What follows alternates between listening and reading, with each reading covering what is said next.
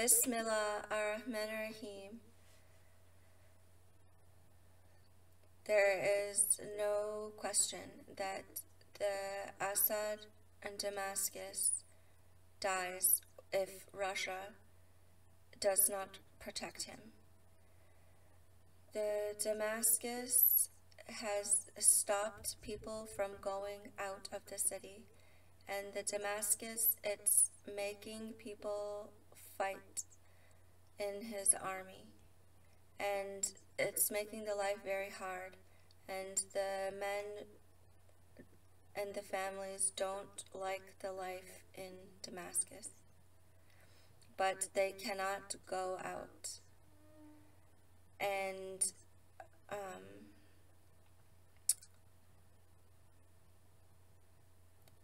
the Assad in Damascus had a hard time getting the men to fight for him.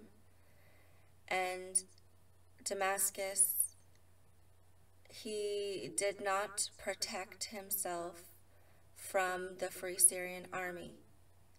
He needed the Hezbollah to come and protect him, and he needed the Iran to come protect him, and he needed the Russia. Well, now Russia, it's very busy, and the oil, it's the most dangerous thing about all of the uh, countries and the governments.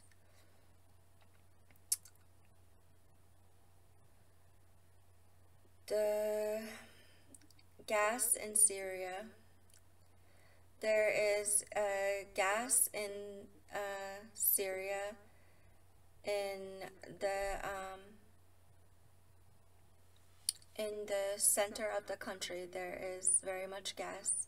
In the north of the country, of Syria in the northeast, there is very much um, oil there. And in the north in Iraq, there is oil there. And these have a border with Turkey. The Americans came into the Iraq for the oil and next they came into the Syria and they said that the uh, Amer American war campaign in Syria, it was only for stopping the Abu Luqman group. But the, um, they did go and take the oil. So now that the Russia is very busy in Europe. The Turkey is uh, talking about um, a new fight and using men and soldiers to fight for Turkey to attack the Kurdish people and the PKK who it's naming them terrorists and saying that with this word it can take away all of his human rights and to make him disappear. So the only problem with this is that this same people it's holding the oil. So Europe is getting very much gas from Russia and the Ukraine is a very important place for Russia.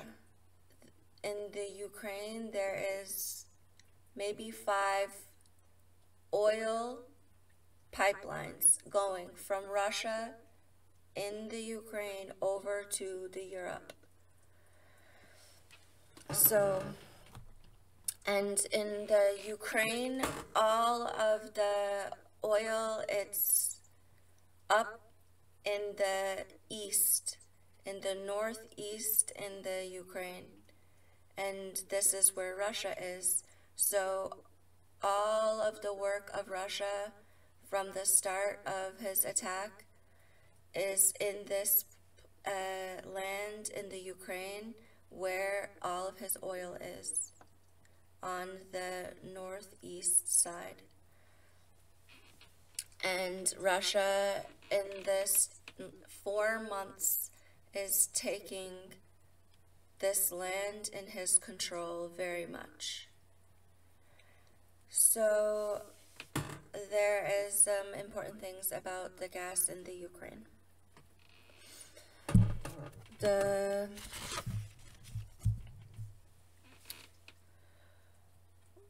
uh, Russia has some very big gas companies controlling all of the gas and the oil in the Russia. Rosneft and Gazprom. So these two companies have the biggest power in the country of Russia. The Rosneft, it has 40% of the Russian oil. It's controlling him, the Rosneft, one company. And the other company, Gazprom, it's a Russian company, it's controlling 12% of the world's natural gas supply. So the Russia, it has all of this big oil pipelines coming through Ukraine going to Europe. It's got the Nord, let's just start, it's got the pipelines that's going into Germany. And then it's got another pipeline that's going up over the Germany in the North Seas and then it's got um, the pipeline that's going to Belarus, another country. It's got the pipeline that's going through the Ukraine into the Europe. This one's name is the Novopskov.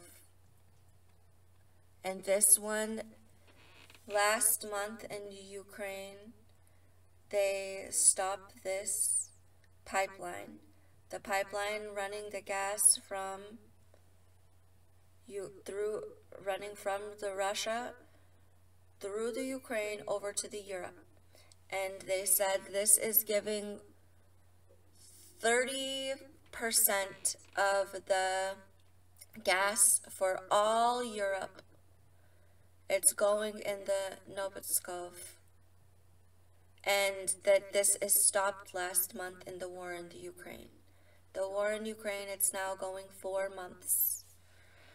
The news very much in the start of the war said that Russia, it's quickly attack the gas places and the air fields where they uh, where the airplanes go from and anywhere where there is gas. It's attack him. And the hospitals. Very much there is um, talk that the Russia from day one on February 24th, 2022, when the war started in the Ukraine, the Russia started attacking the hospitals, the clinics, the maternity wards, the nursing homes, the blood banks, any place that has to do with the health care Russia quickly attacked these places to stop anyone from working there and to move everyone out. So that if you need this, you need to go out and cannot stay here. So it was very crazy in the start of the war that in the news, in English language, they were talking very much that Russia wants to take all Ukraine, or no, it needs to take the capital, Kiev, of Ukraine in three days. And uh, any person it's saying, who thinks they are making a war in three days? It's not normal. This person in Russia, it knows very much about the war, and it likes doing long wars. Who is saying three days? So when you hear this, you are very afraid, thinking, what is the uh, Russia needing to do that's make the war stop in three days? It's very, um, I'm very afraid of what it maybe will do in making it stop in three days. But he did not do this in three days. He did this, it's now four months. Four months to do uh, what he is doing. So this was important gas going through the Ukraine.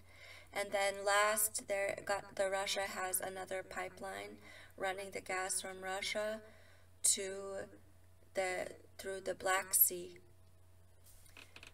So, Russia, Gazprom, it's holding 12% of the world's natural gas supply, and Europe, it's taking very much gas from Russia. So, this is um, this company, it's very, very, very dangerous. And the oil companies are all very, very dangerous. So dangerous that we cannot go around talking about him or saying anything. We cannot fight him. What's most important to the people in this area? It's just to have a safe home and to have a law of justice and to have food and the oil companies are attacking us on on this and it looks like that it's a it's a very I am so afraid that they now need fighting again about this oil and now we know the Americans have control of the oil in the Syria and in the Iraq and that Turkey it's maybe wanting this and Truly, the oil, it's for all of the people in the country so they have food and homes and a beautiful life. So we can only ask America, please give us food from this money and give and let us live a normal life and have our homes from this money.